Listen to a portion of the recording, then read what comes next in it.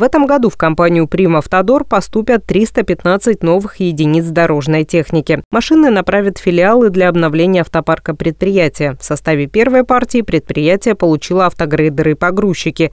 Часть новой техники уже работает на расчистке снега в Ольгинском и Кавалеровском муниципальных округах. Вторая часть техники из первой поставки в ближайшие дни будет доставлена в филиалы и также начнет работу. Напомним, в конце прошлого года по поручению губернатора Олега Кожемяка было принято принято решение по обновлению автомобильного парка и оборудования в 2023 году.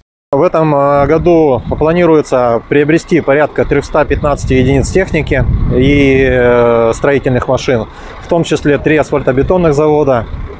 Мы их э, поставим в Лазовском филиале, в Хасанском филиале и в Кавалеровском. Ну, это бывший Северный, сейчас он будет называться Кавалеровским филиалом. Э, в Ольгинском э, филиале, который вновь образован, АБЗ есть. Э, со временем мы его тоже обновим и будем работать. Техники у нас вообще всего порядка полутора тысяч единиц.